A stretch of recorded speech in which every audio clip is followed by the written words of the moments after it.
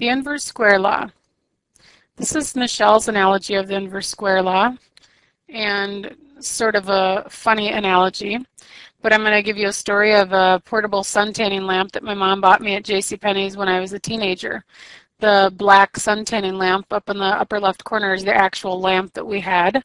Um, and I had a lot of funny stories uh, from the use of that uh, darn lamp. But um, I put this lamp at the recommended distance away from me and used it a couple of times and didn't notice much difference. Um, of course, being a teenager, you know, you want instant gratification for everything that you do. So I didn't notice much of a difference using this sun tanning lamp.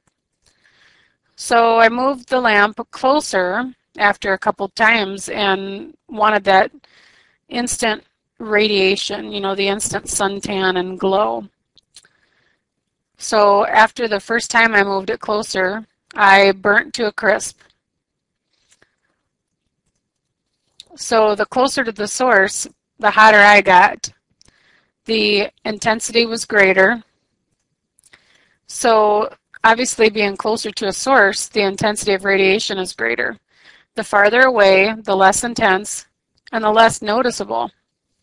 So if you think about radiation safety and protection rules, the inverse square law is a component of ALARA as well. So on exams, if we have a problem where we are increasing the distance, we know the dose is going to be lower for our answer. This is because as you get farther from the source, the intensity is lower. So if you mess up on your equation, don't pick the higher number without thinking about it. Ask yourself first, should my answer be higher or lower? And then cross out what's not going to make sense. So this is um, a way to tell yourself at the beginning, well, the distance is getting farther away, so I know my answer is going to be lower. So right off the bat, cross the higher answers out. That way, if I accidentally flip my equation around and I get a higher answer, I'm not going to pick the wrong answer on here. It's a way of eliminating that that error ahead of time because the MDCB will give you both ways of solving that problem because they know people are going to mess that up. Um, so it's a way to just stop and before you start writing equations out and solving it wrong and picking that wrong answer, just tell yourself, what am I going to expect to get, you know, the, the end result of this question to be and cross out things that aren't going to make sense right off the bat the other part of it is is it's not always going to be the easy way. They're not going to always ask you questions in the easiest format. You're not always going to have a dose and two distances that you're going to square in order to get a new dose. Sometimes they will give you two different doses and a distance, and you end up having to take a square root of a number in order to find the new distance you know, they need to know that you know your math concepts and you know that if you're not squaring a distance, that you would take a square root of something to get that distance. So you have to understand basic math concepts and be able to solve the formulas in both directions because they're not just going to hand everything to you in the easiest format. You do have a problem like this on your week two practice problems that you can use for problem solving.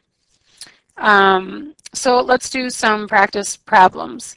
Uh, example one, a single posterior spine field, 300 centigray to a depth of 7 using an isocentric technique of 100 SAD. The patient was treated incorrectly at 100 cm SSD to a depth of 7. What did the patient receive in dose? So we know that the dose will get lower because we are going farther from the point of calculation. Sometimes this is hard for people unless you actually draw it out.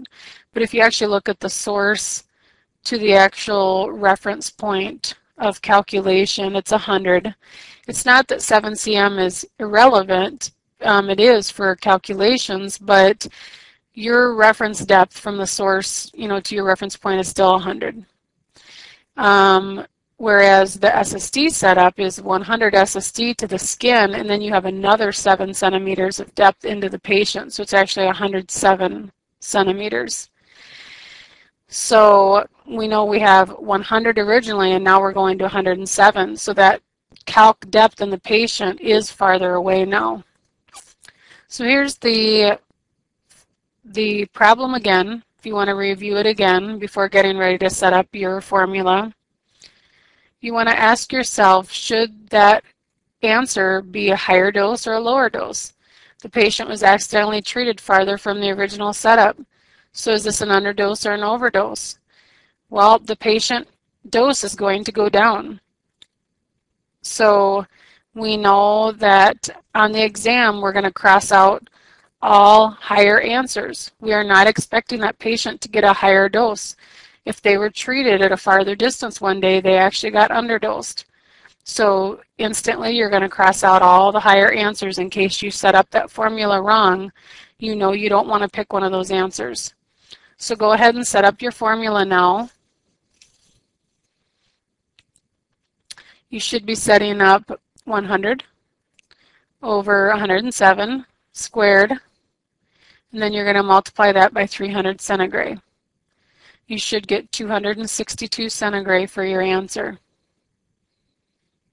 If you accidentally flipped your numbers, you're going to know right off the bat that you did that.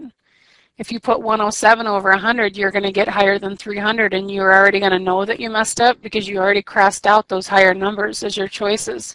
So you'll look at it and say, oh, I must have flipped my numbers around. So reset up your problem. Once you get that lower number, you're going to look down, you're going to see 262 is one of your choices, and you're going to know that you did it correctly. So by crossing those out initially, you're going to know when you've maybe messed up one of your formulas. Um, actually, the other example, instead of putting it in here, I just have decided that since you have it in your practice problems, for you to refer to that practice problem, it's going to be a problem using the square root instead of distance.